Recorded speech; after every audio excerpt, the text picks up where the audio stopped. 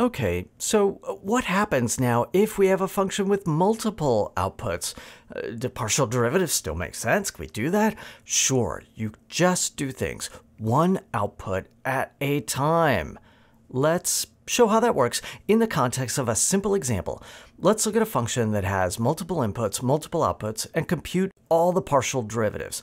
Let's say f has two inputs, x and y, and three outputs, u, v, and w. And what we're going to do is write u, v, and w as functions of x and y. So u is minus x to the fourth, v is y squared minus xy, w is 5x minus 2y.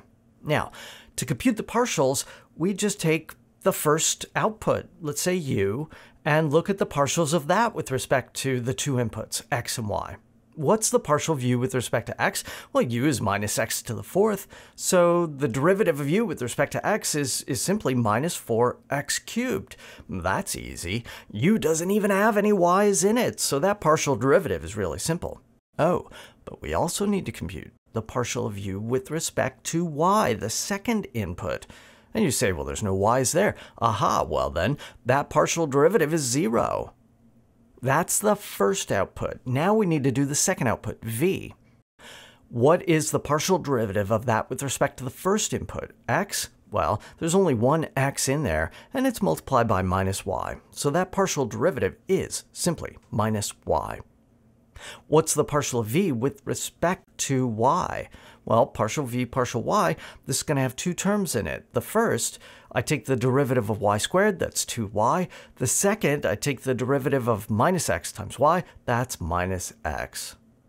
Lastly, I look at w. What's the partial of w with respect to x? That's just 5. What's the partial of w with respect to y? That's just minus 2. Easy enough.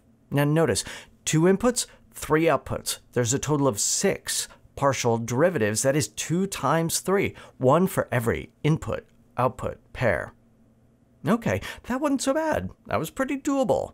Oh, but what happens if you have a lot of inputs and outputs? Let's say that you run a bakery and you have to buy a whole bunch of ingredients uh, chocolate, butter, eggs, flour, fruit, milk, salt, sugar, yeast, whatever and you produce a bunch of different goods that you're going to sell bagels and breads and croissants and cupcakes and donuts. Mm, I'm getting kind of hungry here. Okay, what happens when the prices of the ingredients change? You have to update the prices of the products that you sell. How do those product prices change as a function of commodity prices? How do outputs change as a function of inputs? Well, there's a function, a cost function that has n inputs and m outputs. And that tells you the prices of the products that you sell as a function of the prices of the inputs that you buy, of the commodities that you buy. Wow, there's a whole lot of partial derivatives going on here if the price of eggs goes up and the price of milk goes up and the price of butter goes up, but the price of sugar goes down and the price of chocolate goes down, how is that going to impact the price that you charge for croissants? Whew, wow, that's so many rates of change. What are we going to do? How are we going to keep track of all those partial derivatives?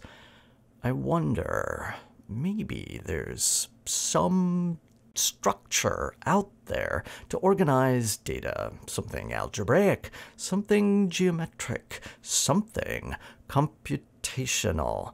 I wonder what it could be.